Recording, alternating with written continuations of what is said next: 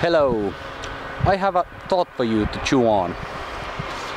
Uh, during the last week, there has been a lot of discussions in the uh, Finnish vlogging community about the dangers in vlogging because uh, during the last year or so vlogging has exploded in Finland.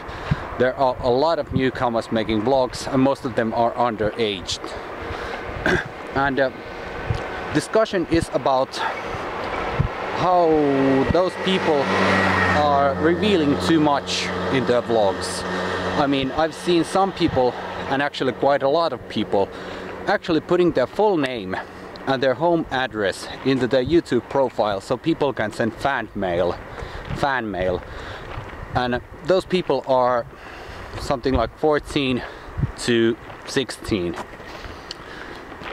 And uh, well, that discussion has be also been about uh, well dangers in vlogging but also what dangers vlogging brings what comes to social media.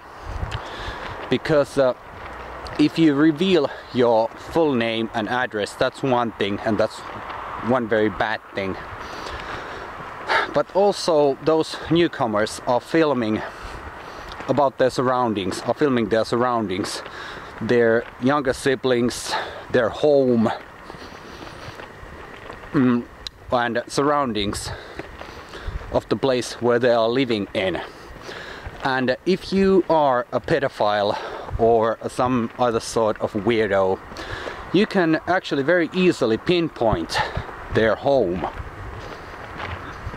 And that's not good. So I would like to know uh, what uh, international vloggers are thinking about this. And of course vlogging is a good thing. And uh, if you ask me, vlogging is the best form of social media. Because if you're vlogging, you're not just a name on a comment section or something like that. You're an actual person with a face and with a voice. But that brings, or that comes uh, with a lot of risk. And what I said earlier, when people are revealing their you know, full names, full addresses, and too much details about themselves, because here in Finland we have, well, few bloggers that are quite hard when it comes to their uh, subject matter. They are talking about things people are either against or for. And that also comes with another kind of risk.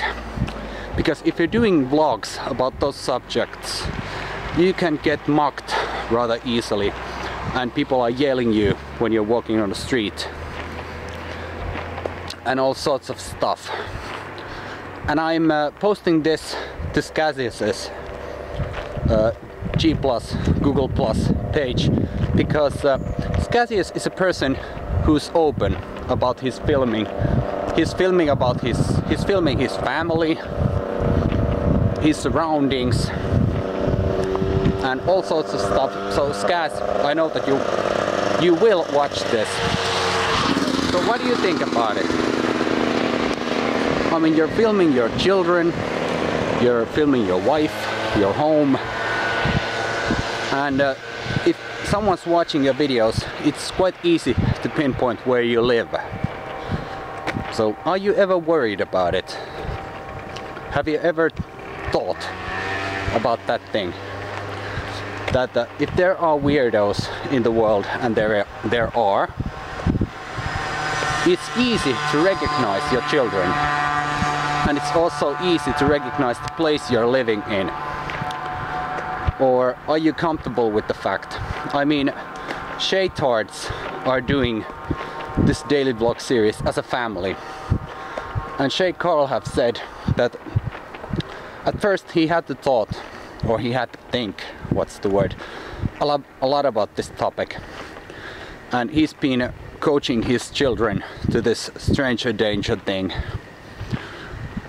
and all other sorts of stuff. So, well, my English isn't fluent today. But my main, my main question is, what do you think about the dangers in vlogging. What are they? What are the dangers in vlogging, especially if you're underaged? And you're filming everything, your friends, your home, your siblings, revealing your full name, address, and so forth. So what do you think? That's all for today. See ya!